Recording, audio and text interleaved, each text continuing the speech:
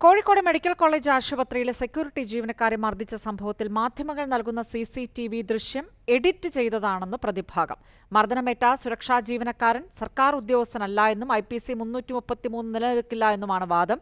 പ്രതികൾക്ക് ജാമ്യം നൽകുന്നത് കേസിനെ പ്രതികൂലമായി ബാധിക്കുമെന്ന് പ്രോസിക്യൂഷനും വാദിച്ചു. പ്രതികളുടെ ജാമ്യാപേക്ഷ വിധി പറയാൻ വെള്ളിയാഴ്ചയിലേക്ക് മാറ്റിയിരിക്കുന്നു. കൃഷ്ണമോഹൻ ചേരുന്നുണ്ട്.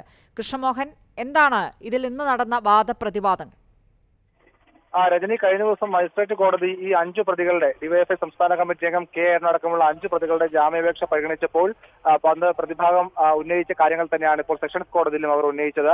അവർ പ്രധാനമായും പറയുന്നത് ഈ സി സി ടി വി ദൃശ്യങ്ങൾ മാധ്യമങ്ങളടക്കം കൊട്ടിഘോഷിച്ച് കാണിക്കുന്നതായി പറയപ്പെടുന്ന ഈ സി സി ടി വി ദൃശ്യങ്ങളുണ്ട്. ആ ദൃശ്യങ്ങൾ എഡിറ്റ് ചെയ്തതാണ്. പൂർണമായുള്ള ദൃശ്യങ്ങൾ പോലീസ് പുറത്തുവിട്ടില്ല. ഇത് മനഃപൂർവം ഈ കേസിനെ പ്രതികൾക്ക് എതിരാക്കാനുള്ള ബോധപൂർവമായ ശ്രമമാണ് പോലീസ് ഇതിന് കൂട്ടുനിൽക്കുന്നുണ്ട്. മാത്രമല്ല ഈ ഡിവൈഎഫ്ഐ പ്രവർത്തകരുടെ പരാതിയിൽ സെക്യൂരിറ്റി ജീവനക്കാർക്കെതിരെയും കേസെടുത്തിരുന്നു. പക്ഷേ അവരെ അറസ്റ്റ് ചെയ്യുന്നില്ല. അവർ ചാനൽ ചർച്ചകളിലടക്കം പങ്കെടുക്കുന്നുണ്ട്.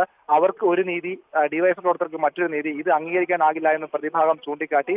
മാത്രമല്ല ഈ കേസിൽ പോലീസിന്റെ ഭാഗത്തു നിന്ന് തിടുക്കപ്പെട്ട് കൂടുതൽ വകുപ്പുകൾ ചേർക്കുന്ന സാഹചര്യം ഉണ്ടായി. സർക്കാർ ഉദ്യോഗസ്ഥനല്ലാത്ത സുരക്ഷാ ജീവനക്കാരനെ സർക്കാർ ജീവനക്കാരെ ആക്രമിക്കുമ്പോൾ ചേർക്കുന്ന പത്ത് വർഷം വരെ തടവ് കിട്ടാവുന്ന വകുപ്പുകളടക്കം ചേർത്ത് കേസിന് ബലം പകർന്നു. അതാണ് ജാമ്യം കിട്ടാതെ ഇത്ര ദിവസം ഇവർ ജയിലിൽ കിടക്കാൻ കാരണമായതെന്നൊക്കെ പ്രതിഭാഗം ചൂണ്ടിക്കാട്ടി. പക്ഷേ പ്രോസിക്യൂഷൻ ഈ വാദങ്ങളെ ശക്തമായി എതിർത്ത്. പ്രോസിക്യൂഷൻ പറഞ്ഞത് പ്രതികൾക്ക് ഏതെങ്കിലും തരത്തിൽ ജാമ്യം കൊടുക്കുന്നത് കേസിനെ പ്രതികൂലമായി ബാധിക്കും. അവർ സ്വാധീനമുള്ളവരാണ്. അതുകൊണ്ട് ജാമ്യം കൊടുക്കരുതെന്ന് പ്രോസിക്യൂഷൻ ബാധിച്ചു ഇതോടൊപ്പം തന്നെ ഇന്ന് കോടതിയിൽ ഈ സുരക്ഷാ വേണ്ടി പ്രത്യേക ഒരു അഭിഭാഷക ഹാജരാകുന്നുണ്ട്.